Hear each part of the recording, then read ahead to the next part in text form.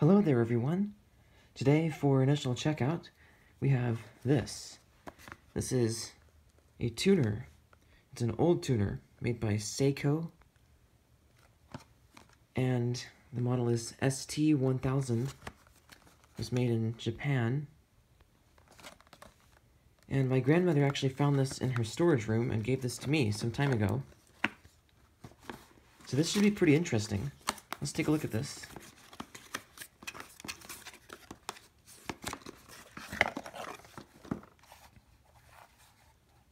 Alright, interesting.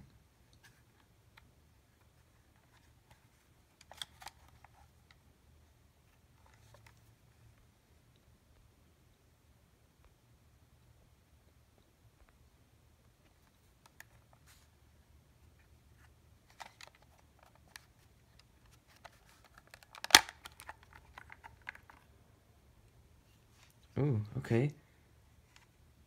So there is a Leica cell in here which has now expired. It expired a few months ago. Yet, miraculously, it has not leaked. Let's get that out of here. Whoops. it may have been starting to leak. But it appears that the tuner is intact. So that's really good. We grab another 9 volt battery. This one is the Energizer, which I've had better luck with, although not perfect luck with.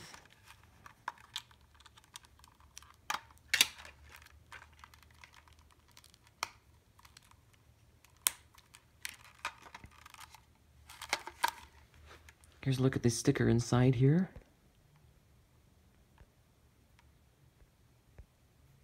Come on, focus.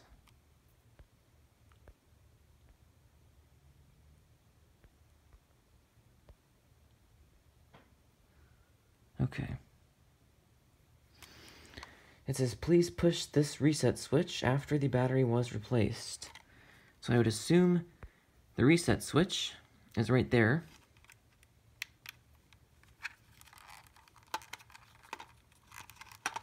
Alright, so that's kind of odd, but okay.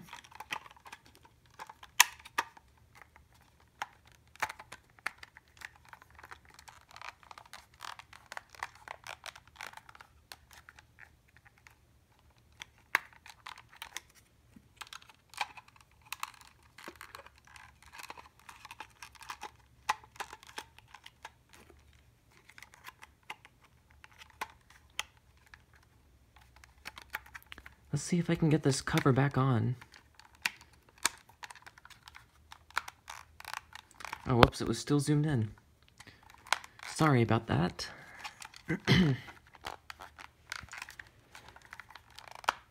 there we go.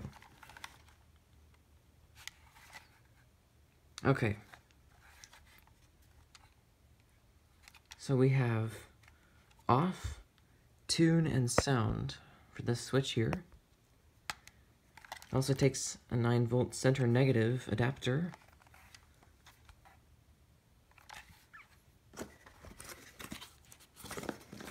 And there is a manual in here. Alright, so here is the manual. Unfortunately, it's one of those annoying folding ones. But I'll see if I can show you the English section on here.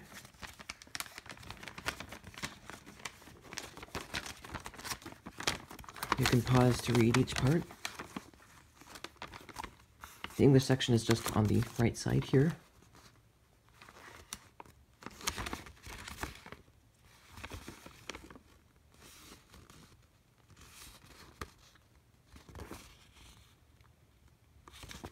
Let's take a look at these specifications. So the displays are, I guess, a VU meter, and a tuning guide, which is two LEDs. So here's the meter, and then each of these, flat and sharp, has a little LED. Might be able to see it with the glare on there, but there's a little LED underneath each one. And then there are the note and pitch indicators and the octave indicators. So these have the note names, And there's a light at each one, along with a uh, sharp indicator. And then here are the octave indicator lights.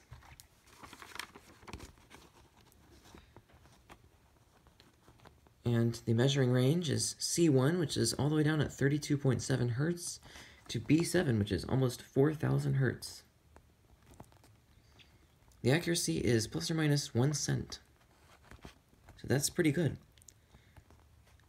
Range of the reference node is C2 to B6. And the calibration has eight different uh, versions, ranging from 438 to 445. So that's not too big of a range, unfortunately.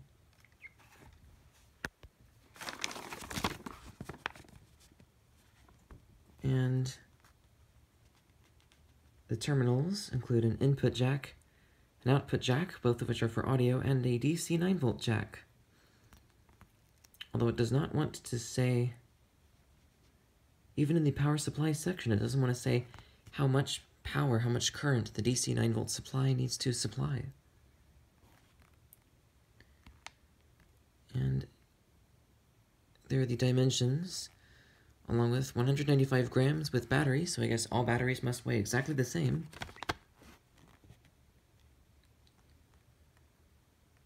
And the accessory is one battery.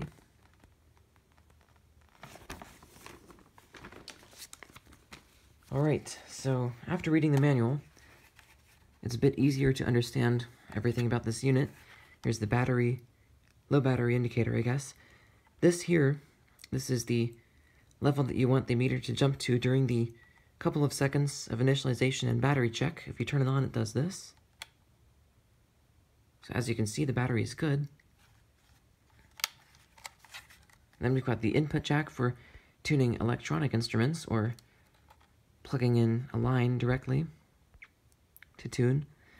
And the output jack is basically the same thing, it says whatever note you're tuning is also output through the output jack. And then there's the 9 volt jack. And back here is the speaker. We've also got some rubber pads on here and a single screw. And here's the calibration selection button. You can choose which of the levels you want, which of the uh, standard A's you want and the note and octave selectors for the reference sound. And then there's the microphone. so, first let's test out the uh, tuner. So, first I'm going to try and sing or hum an A. Mm. Alright, looks good.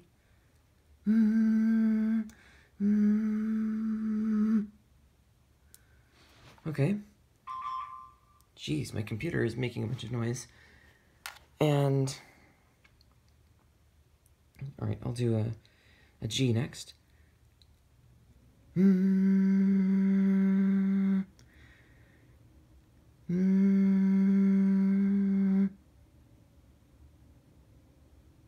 Let me see what the calibration is at, actually. Okay, looks good.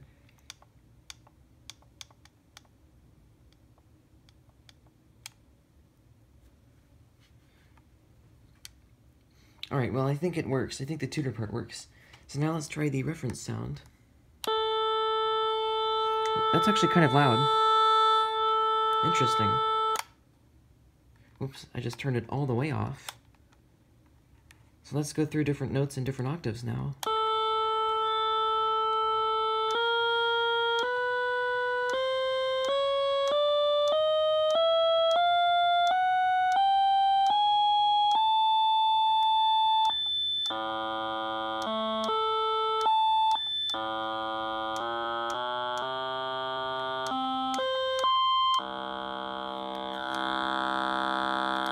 wow.